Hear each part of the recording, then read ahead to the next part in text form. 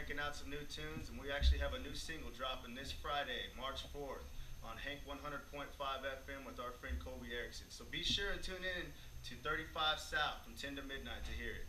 Packs of wild dogs controlling most of your inner cities. For our friends out of town, live streaming at hankfmwichita.com. Check us out. We have a lot of exciting show announcements. Yeah. Stay tuned, y'all.